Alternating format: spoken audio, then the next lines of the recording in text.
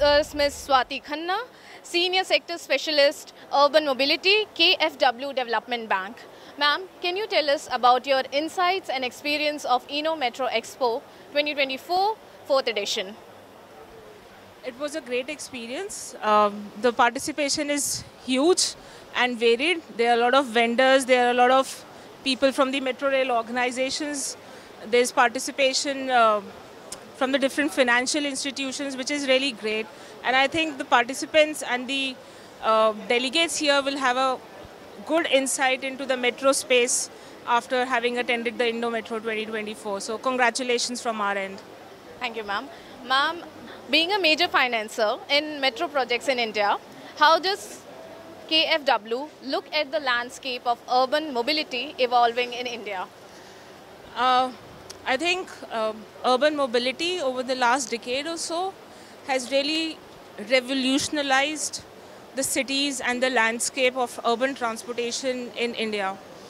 Be it the metros, be it the railway space, be it the bus sector, or be it the public place and the softer elements of active mobility like non-motorized transport and multimodal integration.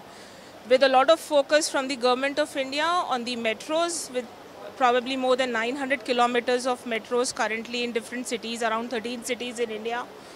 And the suburban railway space picking up as well as the railway space undergoing a lot of innovations with the Vande Bharat and other metro trains and the railway trains coming up.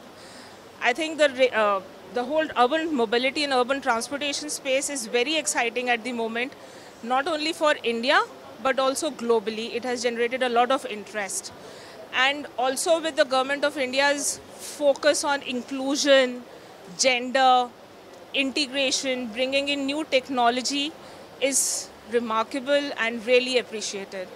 Thank you, ma'am. Ma'am, my next question is how can KFW's financing options help Indian authorities bridge the gap between project costs and ridership projections, especially in tier 2 and tier 3 cities?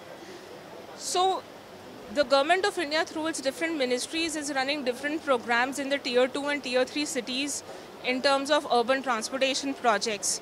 It's not just the metros or the railways, but they're also looking at electric mobility and the bus sector, etc., which is really commendable because uh, not every tier 2 or tier 3 city can sustain a metro system as on date with reference to ridership, and the project costs are really high. So it's really nice that the government of India is exploring together with the Ministry of Housing and Urban Affairs and Ministry of Heavy Industries, Road Transport and Highways and Niti Aayog. They are exploring the electric mobility space in tier 2 and tier 3 cities, uh, which, which in terms of bus sector and the bus routes is having much more outreach to the population and they can complement very well the other existing systems in the city.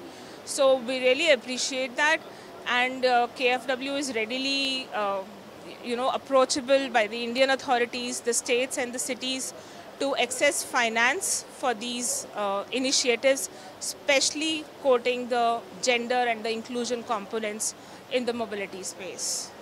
Ma'am, lastly, I would like to ask you any conclu- uh, like special message for the delegates present over here.